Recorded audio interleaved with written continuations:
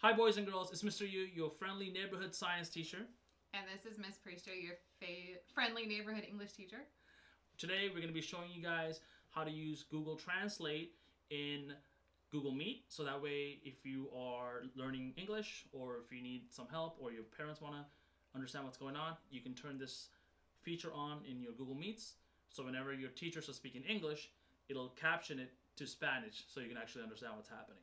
So let's jump right into the video. Hi Pinnacotti. In this video, I'm going to show you how to translate your Google Hangouts. So join your Hangout like normal. And then go down and click Turn on Captions. And then as you talk, the captions will go across the bottom of the screen. You already know this. Here's the trick.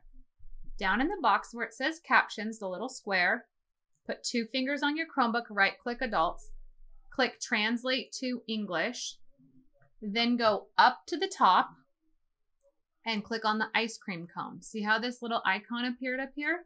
Go up here, click the ice cream, choose another language. It's set to English, so go to Spanish or whatever language you want, and then hit translate. Now, if you look, all of the captions are in Spanish, so when your teacher and classmates talk in English, it comes up on the bottom of the screen in Spanish. It works best when people are talking slowly. So you might need to remind your teacher to do that. If you look around, you will see your whole screen is in Spanish. Oh, Mr. Yu's here. Say hi, Mr. Yu. Hi, everybody. Can you guys hear me in Spanish or can you read me in Spanish? Am I talking too fast? No, you're doing great. I can see you in the captions. Now, the other thing is if you go to the chat, it's in Spanish too. So if I say like hi, it switches it to hola and everything is in Spanish. So if you need to turn this off, this is what's harder for me.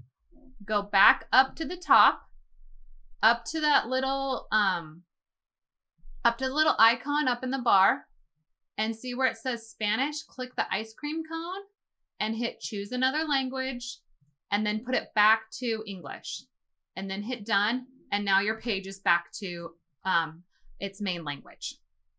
Okay, I hope that helps everybody. It works great. I've used it with students and I've used it with parents and we have had success. So I wish you all the best of luck. And you rock for being bilingual. Bye.